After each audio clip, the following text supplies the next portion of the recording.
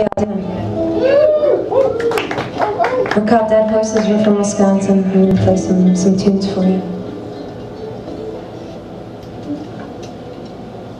There's a new generation of poor Faces clean and their eyes are pure